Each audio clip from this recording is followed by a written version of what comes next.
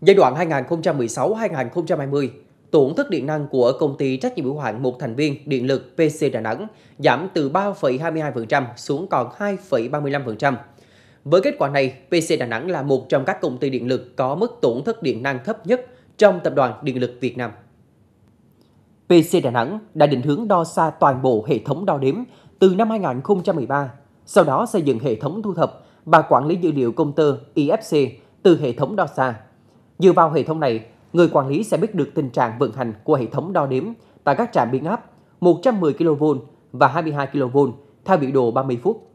Trên cơ sở hệ thống thu thập dữ liệu công tơ từ xa IFC, PC Đà Nẵng đã xây dựng hai chương trình hỗ trợ quản lý kỹ thuật, quản lý vận hành. Đến tháng 9 năm 2018, PC Đà Nẵng đã xây dựng thêm chức năng tính toán tổn thất lưới trung áp, hỗ trợ quản lý kỹ thuật, giúp thường xuyên theo dõi các xuất tuyến.